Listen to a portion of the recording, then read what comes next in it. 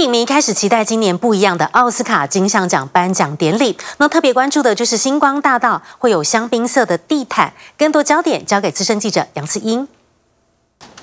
奥斯卡颁奖典礼即将在明天台湾时间早上就会登场了，为你整理五大看点。第一个就是 Jimmy Kimmel 了，暌违五年第三度接下奥斯卡主持棒，而且他跟麦特戴蒙世仇的这个梗啊，会不会在颁奖典礼上出现呢？大家都非常的期待。还有呢，杨紫琼主演的《妈的多重宇宙》这个电影呢，是入围了十一项大奖，有没有可能拿到最佳影片这个奖呢？影评人是非常的看好，毕竟呢，《妈的多重宇宙》已经是在先前呢其他的电影类奖项横扫了许多的大。大奖，所以呢，得奖呼声是非常的高。那当然呢，身为女主角的杨紫琼有没有可能成为这一今年的这个奥斯卡的影后？而且会不会是史上第一位亚洲华人影后呢？也是最大的看点之一了。毕竟呢，这个杨紫琼先前已经在这个奥斯卡风向球，像是金球奖啊，还有这个美国演艺工会呢，都是已经先拿到影后的这个奖项了。所以呢，就看好是不是这一次她有可能真的会抱走奥斯卡影后这个奖了。另外第四个。看点就是，这是暌违八十八年再一次发生的，所有这个影帝入围者都是第一次入围奥斯卡奖了。其中啊，包括这个饰演猫王的奥斯汀·巴特勒，还有呢布兰登·费雪，还有科林·法洛。其实这三位呼声都很高，所以影评人很难预测最后会是奖落谁家了。还有第五大看点就是最佳电影原创歌曲，到底谁会抱走大奖呢？尤其 Lady Gaga 为这个《捍卫战士》唱演献唱这个歌曲啊，可惜呢，他。一因为是还要赶拍小丑，所以是没有办法出现在这个奥斯卡颁奖典礼上。所以到时候呢，会献唱的会是《妈的多重宇宙》的女配角，她会上台献唱。不过呢，蕾哈娜为这个黑豹献唱的歌曲啊，其实呢也是非常的动听。所以究竟呢，谁会拿走这个大奖，就看明天这个台湾时间早上呢，这个最后这些大奖会降落谁家了。刚刚此音段我们看到，其实奥斯卡影后的入围名单的确，杨紫琼呼声很高，但是来势汹汹的还有凯特·布兰奇，她扮演的是指挥家。入围名单再请子英带大家来看懂。杨紫琼跟凯特·布兰奇这一次真的是最大的竞争对手了，来比比看他们两个人的一些身家小调查哦。杨紫琼今年近六十岁了，不过凯特·布兰奇五十三岁，但两位呢，真的都是大家公认的影后了。这次呢，杨紫琼是在《妈的多重宇宙》里面呢，是饰演这个华人妈妈的这个角色，诠释出呢华人女性为了家庭放下一切的这个现象。凯特·布兰奇呢，只是在《他儿》里面呢，是饰演一个指挥家，而且她为了这部电影啊，还特地去学德语。还学钢琴，还学怎么指挥，真的是下足了苦功。不过杨紫琼早期出道的时候，她演这些功夫片真的是不胜枚举。后来在《翁山苏姬》啊，或是《疯狂亚洲富豪》呢，都是也缴出这个亮眼的表现。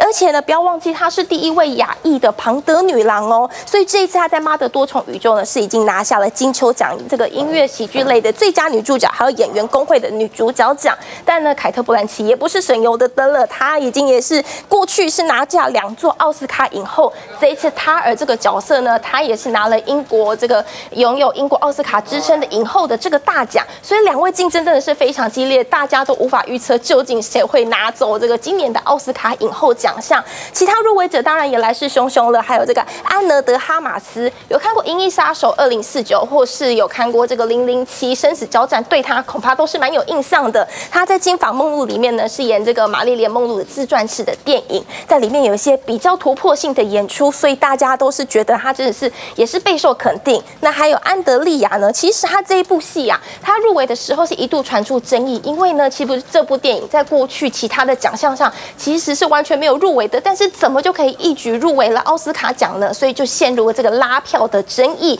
不过演艺工会这个学院还是认为。就这个是有入围资格的，所以还是让他的入围。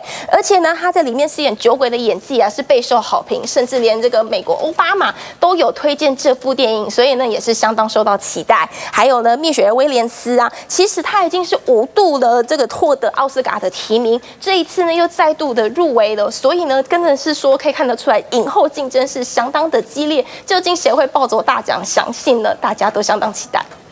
你来猜猜看，增加一下冷知识，谁是电影界的纪录保持者？带你来盘点哦，奥斯卡金像奖入围跟获奖最多的电影是哪一部？请教此音。